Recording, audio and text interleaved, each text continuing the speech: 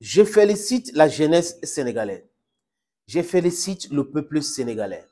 C'est un peuple fort, c'est un peuple résilient, c'est un peuple qui est politiquement éduqué. On a vu ça avec Léopold Sédar Senghor, après Abdoulaye Wade, Macky Sall et aujourd'hui Sonko. Le peuple sénégalais s'est levé comme un seul homme pour dire non au troisième mandat de Macky Sall. On a vu les ministres de Macky Sall malmenés en Europe. Oui, lui-même, il a compris le message.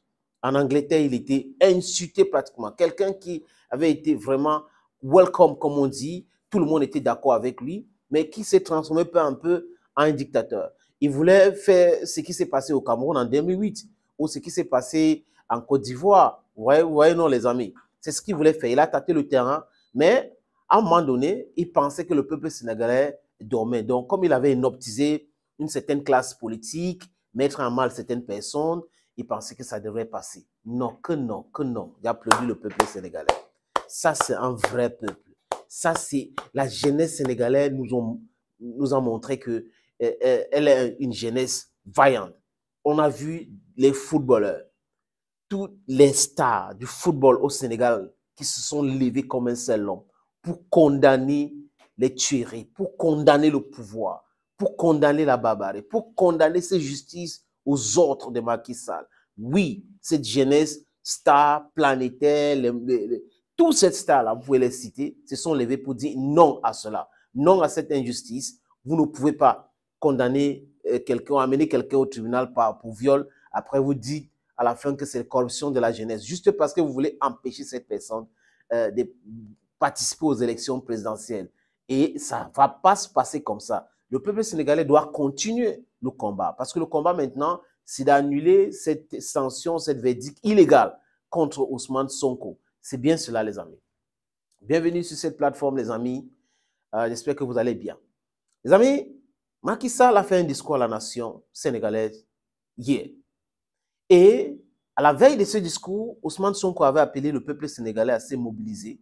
Oui, parce que beaucoup de personnes pensaient qu'il voulait annoncer sa candidature aux élections présidentielles futures, donc en février 2024. Que non, il a compris le message. Il annonce plutôt quoi? Qu'il ne briguera pas un troisième mandat. Il dit que même comme la, même comme la Constitution le permet, mais il ne va pas le briguer. Cette incohérence de Macky Sall et cette peur de briguer un troisième mandat, c'est grâce au peuple sénégalais, c'est grâce à la jeunesse politiquement éduquée du Sénégal. Oui, ces jeunesse lui ont envoyé des messages, un message fort. On a même vu à l'Assemblée nationale où un député a accusé de bandits le président de l'Assemblée nationale, les députés euh, proches du, au, parti politique de Macky Sall et traité même Macky Sall de bandit. Oui, en plein Assemblée nationale. Et tout ce discours, tout ce que nous faisons sur les réseaux sociaux et sur les différents médiums, ça passe le message clair que l'Afrique ne doit pas accepter cela. Le troisième mandat, c'est ça pignon sur rue en Afrique centrale. Regardez tous les pays de l'Afrique centrale. C'est, quand même terrible. Un président est président en Afrique centrale, responsable de rien, mais président de tout. Président de tout, responsable de rien. Les, les présidents en Afrique centrale ne vérifient aucun projet. Conseil ministériel, vraiment, ils organisent quand ils veulent le pays les appartient. Quand vous les critiquez, c'est que vous êtes anti-patriote. En Afrique centrale, c'est un scandale. Hein? L'exemple est en train de venir de l'Afrique de l'Ouest petit à petit. Il faut que ça touche aussi l'Afrique centrale.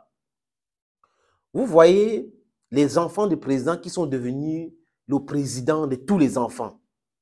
Vous avez les enfants des ministres qui sont devenus euh, les, les ministres de tous les enfants. En fait, c'est comme ça que ça fonctionne.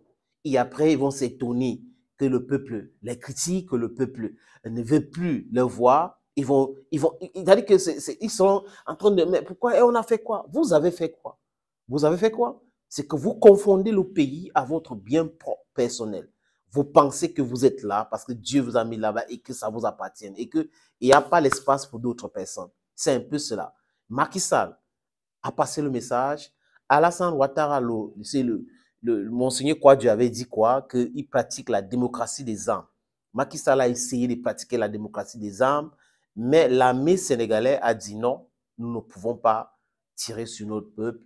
Et malgré le fait qu'il y a eu cinq morts, je crois qu'après, euh, quand le nouveau président sera élu au Sénégal, il va falloir mener les enquêtes pour voir clair dans cette histoire qui a donné les ordres et les coupables doivent être punis. Mais le prochain euh, président, il faut être lucide, les amis. Le prochain président sénégalais ne doit pas euh, concourir à ce qu'on appelle, faire le recours à ce qu'on appelle chasse aux sorciers. Non. Nous n'allons pas développer l'Afrique comme ça. Des gens qui ont mal dirigé, et s'ils décident de laisser le pouvoir et de ne pas interférer, il faut les protéger et qu'ils nous donnent les informations vraiment vitales pour que nous puissions mettre la main sur l'argent qu'ils ont volé, l'argent que euh, les ministres ont volé pour développer le, pays. C'est comme ça que ça devrait se passer. Je pense que le prochain président sénégalais va pas se comporter comme Macky Sall, hein, qui, chassait tout le monde, qui voulait briser le cou de tout le monde. Mais malheureusement, pour lui, il ne savait pas que le peuple pouvait ériger encore un autre, qu'on appelle Ousmane Sonko. Le peuple sénégalais, bravo à vous, courage, continuez comme ça, le combat continue. Maintenant, il faut répandre le combat dans toute l'Afrique pour que nous nous débarrassons de ces euh, vassaux-là que les Occidentaux ont installés dans nos pays. Nous nous débarrassons euh, de, ces présidents voyous, de ces présidents détourneurs de fonds publics, de ces présidents qui confondent le pays à leur bien personnel, de ce président qui confond le patriotisme à l'amour pour le pays et l'amour pour eux. Les amis, thank you again for watching this video. God bless you. Bye bye.